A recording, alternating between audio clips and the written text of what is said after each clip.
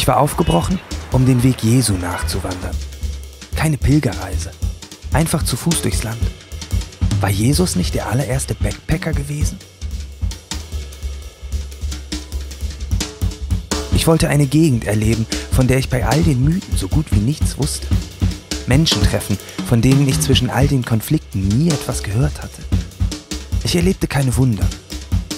Und doch wurde es wundervoll. So nah und intensiv, beängstigend und schön und vibrierend.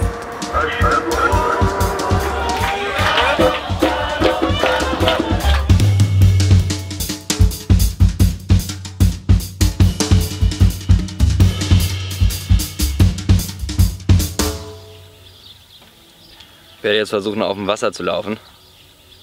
Petrus hat drei, vier Schritte gehabt, dann ist er reingefallen. Ich versuche da ranzukommen, im besten Falle schaffe ich mehr.